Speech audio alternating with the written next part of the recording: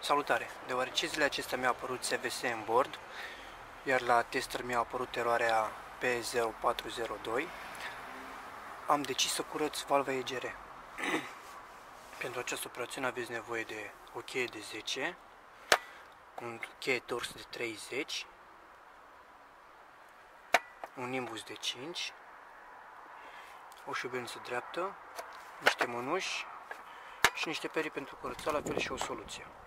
Înainte de a umbla la valva EGR, deoarece este acționată electric, indicat este să decuplăm minusul la baterie pentru a nu avea probleme după aia.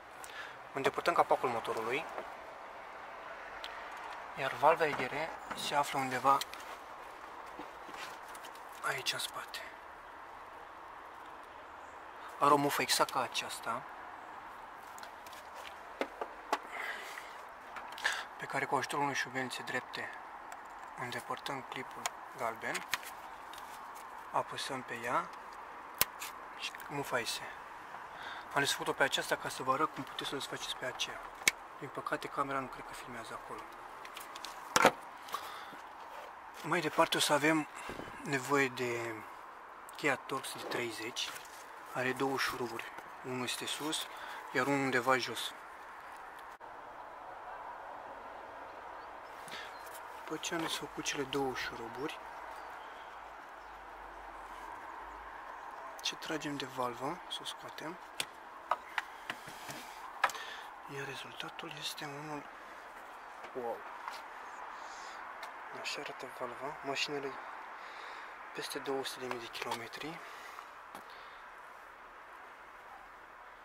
și cam așa arată valva. Foarte, foarte îndură. Secundă parte. Pentru îndepărtarea țevii de recircularea gazelor, o să, cu ajutorul unei chei de 10 desfacem cele 3 șuruburi de sus, iar jos cu ajutorul unui imbus de 5 o să avem două șuruburi. Mare atenție la două, cele două șuruburi de jos când le desfaceți, deoarece au o mică șaibă pe ele. După ce ați desfăcut șuruburile, mișcați un pic de țeavă până iese.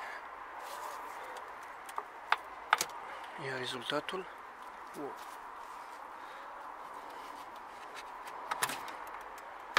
Oh, cred că am avut o mică șaibă acolo. Iar acesta este rezultatul.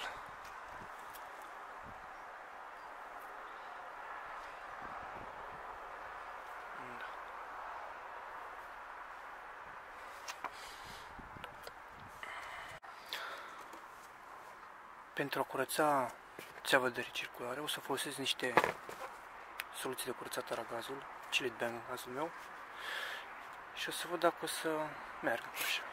Sprayăm.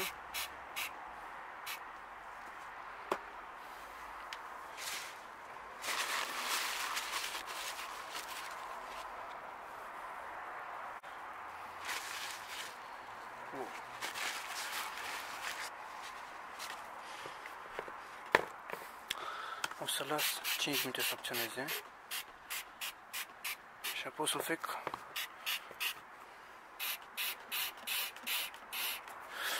cu o periuță de dinți înăuntru. Cât timp am lăsat țeava cu niște cilit în ea să se moaie acea mizerie, am zis să curăț și valva. Pentru valvă, ideal ar fi să nu șpereați direct pe ea soluția. Puneți undeva jos sau într-un recipient ceva și cu ajutorul unei perii începe și curățați.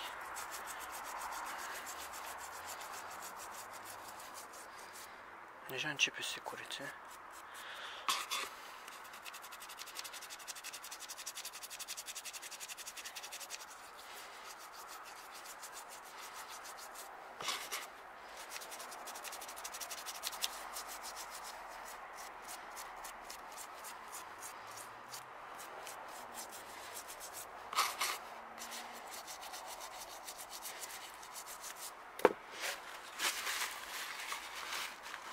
Iar valva începe să se curețe. Nu vă grăbiți deoarece nu faceți asta în fiecare zi. Și în cap. mare grijă.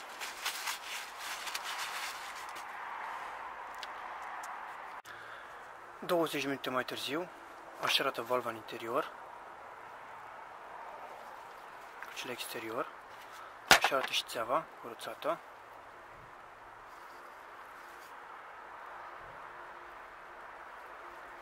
Foarte curată. Aceasta este garnitura care mi-a căzut când am scos țeava, bine în capăt aici. Ideal ar fi să o știți cu cârpă umedă pentru a nu deteriora cu alte substanțe. Este de cauciuc. Iar procesul montării este invers cel de montării. Dacă aveți întrebări, lăsați-mi la coment și o să vă răspund când o să pot. Salutare și o zi plăcută să aveți!